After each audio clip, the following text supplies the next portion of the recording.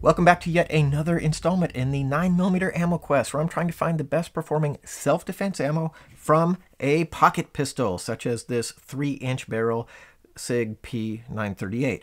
Uh, many of us are carrying these small short barrel pistols and there's been lots of ammo tests done from 4 inch or 4.6 inch barrels, you know, big police officer guns, full size guns. But those results don't necessarily apply to the you know, much restricted three inch barrel here. So I'm trying to find what will perform best from this. And today's candidate, Winchester Ranger T in 147 grain. So yes, another Ranger. The reason why is because A, a very kind viewer sent these to me to evaluate, so I appreciate the donation. Uh, but also B, I've been told more than more than once that if you haven't tried Ranger T, you haven't tried Winchester's Best, that these should really fit the bill. Well, I'm game. I'm looking for something that will fit the bill, especially in a 147 grain, because while we found some superb performers in lighter weights, it's been a challenge to find something good in 147. So I'm optimistic that maybe these uh, Ranger Ts will deliver what we're looking for. What are we looking for? Well, my standards are those established by the FBI and the International Wound Ballistics Association on what a bullet needs to do in order to perform likely to be able to cause an incapacitating hit. And that is a minimum of 12 inches and a maximum of 18 inches of penetration through ballistic gel or soft tissue. What I've got here is professional organic ballistic gelatin, the real stuff, prepared properly, stored properly, shot properly, and it's going to be with and without four layers of IWBA spec 16 ounce per square yard denim.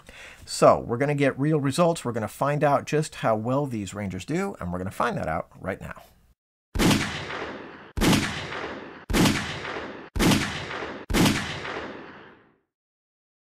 Through the bare gel, the Ranger 147 T series is stunningly good. We have not had a lot of luck with 147 grain bullets, which is not really a fair thing to say. I should say that uh, we've had pretty much no luck with 147 grain bullets other than the HSTs, but these Ranger Ts did the job exactly as it should be done. We got the Shores bullet at 13 and a quarter, next one at 13 and three quarters, and then three of them at 15 inches, right perfect on the mark where I like to see them best, right halfway between that 12 to 18 inch window, right on 15.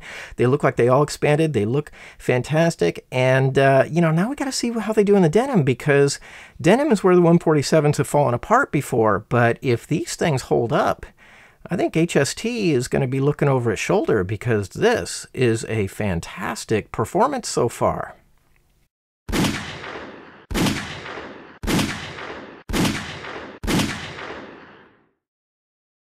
Far as penetration depth and consistency goes, the Ranger Ts were utterly stellar. These had penetration and consistency that would make the HSTs jealous. We got one at 15 and a half, three of them at 16, and one at 17. All of them on the far end of the 12 to 18 inch window that we're looking for, uh, which is perfect. It's ideal. It's what we want to see. 15 is normally where I'd like to see them come in. So 15 and a half and 16 is excellent. 17 is getting close to our 18 inch limit, but it's still within it. It's still great. Nine out of the 10 are pretty much perfect. 10th one, we had some partial expansion, not complete. That's through the denim. We also had a sort of similar situation with the HST, so I'm not too worried about that. I mean, it still did expand into a nasty bullet, and they all penetrated deep. The penetration was fantastic, but the expanded bullets, they're just a big smush of lead. They're not as, as uh, polished and pristine as the HSTs are, but they are big and they are mean. These talons, mean that you know I have to manipulate these bullets to measure them and everything and I had a number of cuts and there is some blood associated with with tallying these bullets here. Uh, I would not want to get hit with one of these. It doesn't necessarily mean that it's going to cut a lot more flesh as it travels at high speed through the body because usually the cavitation means that the the leading edge the, the flesh will spread around there. So these aren't necessarily going to be ripping as it's going at high speed, but when it slows down, gets towards the end of its travel, these will come into play where a smoother bullet might just slip between flesh. This is going to make sure that something gets cut and ripped as it goes through.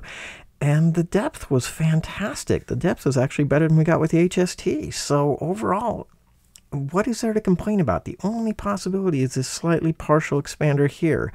Uh, that doesn't make me thrilled. Maybe that was the one that was under 900 feet per second. I have to have to check the numbers again, but all the rest of them, 9 out of 10, are just genius. Look at this one here. That's just a nasty, painful, horrible bullet to go through there. Now, compared to the HSTs, because that's the obvious competition here, these 147s did very well and penetrated deeper. The HSTs, I'm going to bring out a denim, a bullet from denim on HSTs. The HSTs are slightly bigger than the denim bullets, which is pretty much exactly why the, the smaller bullet was able to penetrate a little bit deeper. So in the choice between these two, guys, uh, which do you want? A slightly bigger bullet that penetrates not as far or a slightly smaller bullet that penetrates deeper?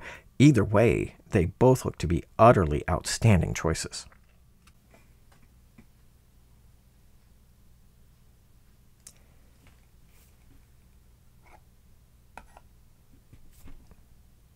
okay, I'm not calling Ranger the winner, but I am saying, you know, I did, it was tongue in cheek. I handed the crown out to the HSTs when I tested the 147 plus P because I thought they represented the best combination of penetration and expansion that we'd seen so far. I don't know, guys. I think these Rangers did better because I definitely prefer the penetration that the Rangers delivered.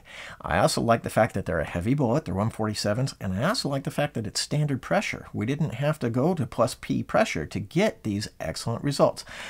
I will say that the HSTs expanded a little bit bigger, which is why they didn't penetrate quite as deep. These did not expand quite as big, which is why they penetrate a little deeper. Uh, the number one factor you need is sufficient penetration. I believe they both did sufficient, but I kind of prefer what the Rangers did. So if you like a heavy bullet, and I generally do like heavier bullets, I think this Ranger warrants serious consideration, and I am really glad to find that we finally have something other than HST that we can crow about, because HSTs, you gotta love them and they're great, but I like there to be a variety. I like the manufacturers to compete for our business, and I think the Ranger Ts are a superb entry. Very, very pleased with how they did. If you like what you saw, please hit the like button and hit the subscribe button. You'll be notified when the next video is posted.